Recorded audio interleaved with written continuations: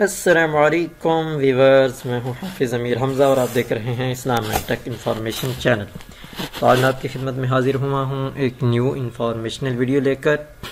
ये ख़ास उन हफाज के लिए है जो रमज़ान मुबारक के बाबरकत महीने, रमज़ान के बाबरकत महीने में कुरान सुनाते हैं, लेकिन वो कुछ परेशानियों का उनको सामना करना पड़ता है। तो इस हवाले से मैंने चाहा कि उनके लिए एक इंफॉर्मेशनल और गाइडनेस वीडियो हो जाए ताकि उनके लिए मुफीद साबित हो। तो आइए स्टार्ट करते हैं। सबसे पहले बात यह है कि जो भी हफाज कराम तरावी पढ़ाएँ, वो किन किन बातों को मद्देनज़र रखें तो उनकी गलतियाँ कम आ सकती हैं।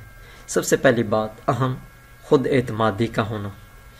हाफिज़ जो भी होता है तरावी पढ़ाने वाला या कारी साहब, कुरान तो याद है, बड़ा अच्छा भी याद होता है, लेकिन जब उनके अंदर कॉन्फिडेंस खुद एतमादी ना हो, वो पीछे जो सुनने वाले हैं, उनका अपने ऊपर प्रेशर ले ले तो फिर वो भूलना शुरू हो जाता है। तो ये बात याद रखें, अपने अंदर खुद एतमादी पैदा करके आप कुरान सुनाएँ। जहाँ भी कुरान सुनाएँ, तरावी पढ़ाएँ, खुद एतमादी को अपने अंदर पैदा करें। दूसरे नंबर पर, जबत का होना। अपना जो कुरान आपने सुपारा सुनाना है उसको अच्छी तरह याद करें, उस पर गिरफ्त होनी चाहिए। उसको अच्छी तरह याद करें, फिर अपने सामने को सुनाएँ, अपनी जो गलतियाँ हैं, उनको क्लियर करें।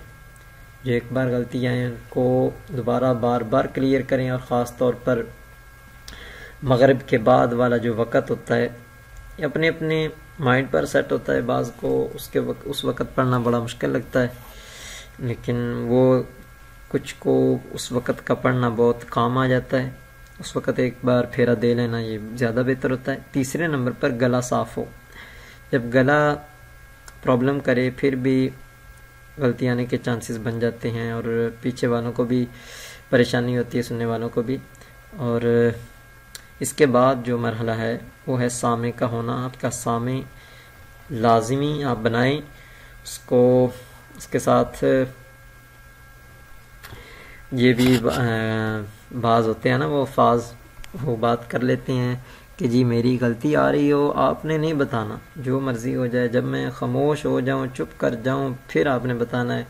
वैसे मैं आगे पीछे होता रहूँ, आपने नहीं बोलना।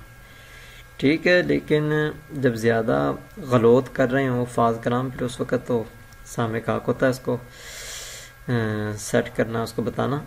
तो सामे के बगैर बहुत परेशानी बनती है अल्फाज को। इसके बाद का मरहला है तरतीब का ख्याल रखना, यानी कि आपने जिस रकत पर अल्लाह अकबर करनी है, कि जहाँ तक करनी है, पढ़ना है, उस बात को भी मद्देनज़र रखें। ये तरतीब का ख़ास ख्याल रखना, ये भी बहुत लाजमी होता है। बाज़ वफाज तरतीब की तरफ़ तोज्जो नहीं देते, फिर ऐसा होता है जब अल्लाह अकबर कर ली, दोबारा खड़े होते हैं। रुकू में जा रहे, गए हैं, उस वक़्त वो जेन में दोहरा रहते हैं, कौन सी अगली आयत पढ़नी है, सजदे में गए हैं, वही आयत दोहरा रहते हैं जेन में, क्या करना क्या करना है? तो उससे पहले जब आप पारा याद कर रहे हैं, जिस रकत पर आपने रुकू करना है, जिस आयत पर रुकू करना है, उसको ख़ास तौर पर ज़्यादा अच्छी तरह याद करें तो इन चीज़ों को मद्देनज़र रखते हुए अगर आप तरा, तरावी पढ़ाएँगे, कुरान सुनाएँगे तो मैं उम्मीद करता हूँ, आपको मज़ा आएगा। गलतियाँ कम आएँगी। इन नेक्स्ट वीडियो में मिलेंगे। तब तक के लिए अल्लाह हाफिज़। अल्लाम